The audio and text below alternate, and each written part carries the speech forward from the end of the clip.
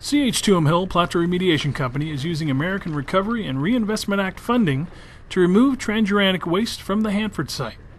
Out at the waste trenches, like treasure hunters on a mission to discover pirates' treasure, CH2M Hill has geophysicists mapping and searching for buried Cold War treasures below the ground.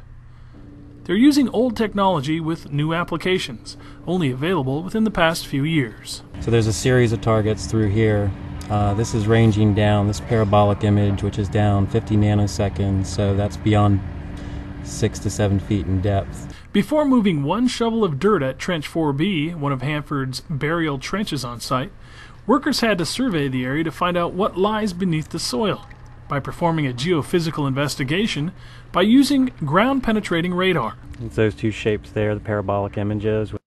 Then the geophysicists used the radar data to create a model.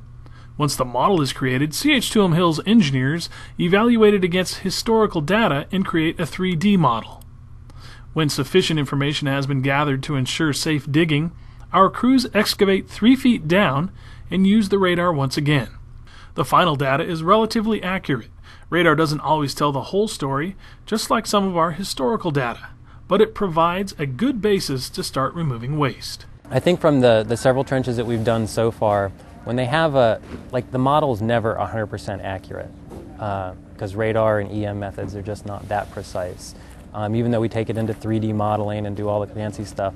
But just the fact that they know kind of where things are and the way they're kind of laid out and the things that might be possible hazards amongst them, it just allows them to plan that much better and, and it does seem to make a, a, a, difference as far as it speeds things along and it's letting them move much faster because they don't get to something all of a sudden that's unexpected that you know is out of place because sometimes the things are out of place compared to the historical records. Radar has been used since the mid 1900s, but combined with new technology, it has been very useful to improve safety on site and facilitate removal of waste from the Hanford site.